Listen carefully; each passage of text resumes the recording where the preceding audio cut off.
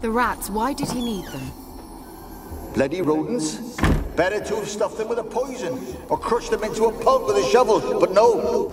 Did you see what he did with them?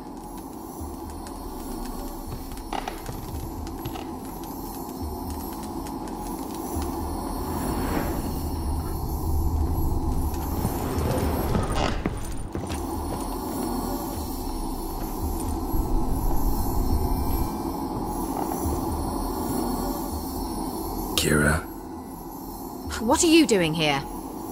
But nay, the mage says bring me rats and healthy ones. Not something the cat dragged in. what's this? What's he saying about rats? It's no concern of yours.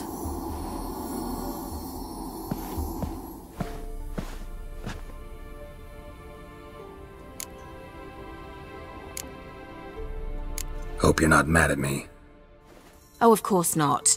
I understand perfectly well that you had valid, important reasons for leaving me in an underground cavern all by myself. Managed to find the lamp? Yes? And you?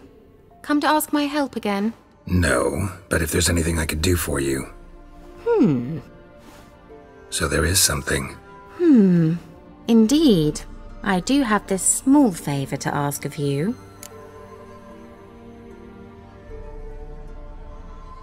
Mentioned you wanted something from me.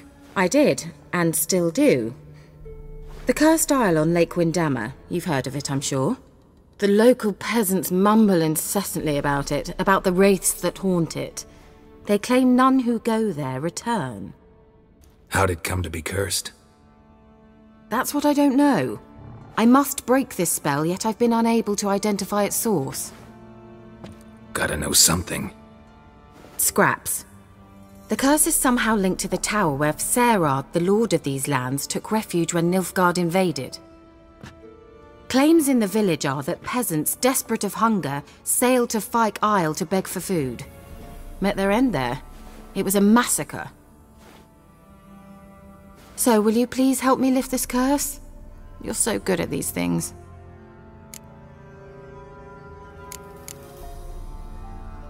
So the peasants who went to the island for food, this lord had them murdered? The villagers say he had them poisoned. A real gentleman. Hmm. Well, I never met him. But he certainly didn't seem such a cruel man, judging by what a mage from the Isle told me. A mage lived on the island? Did you know him? Where is he now? We were friends. Sadly, he died that day as well. Very few survived. Yet even those who escaped the Isle soon suffered agonizing deaths. Strangely, they did not seem to have been poisoned. Why are you so intent on this? I'm not, the local peasantry is. The Isle, miss, you've got to lift the charm. You're a good witch, a great witch. There's no end to it. Uh-huh. See, I thought you didn't care for the locals. The great witch you are. I failed to lift the curse, and they could conclude I'm not so great. Not enough to conceal me from the witch hunters and risk getting sent to the gallows themselves. What others think. Your image. That's all you care about. The point is, listen.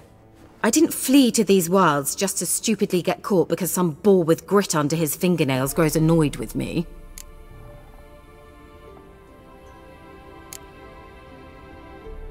Need to think about it.